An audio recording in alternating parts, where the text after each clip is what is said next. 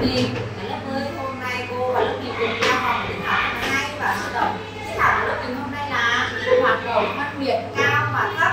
Bây giờ lớp mình cùng nhìn lên nhìn cô làm hướng dẫn nhé. Đầu tiên cô sẽ có hai chai nước. Hai cao thì mình sẽ đặt lên cao. Lên thấp nhá Các bạn cùng nhìn cô làm nhé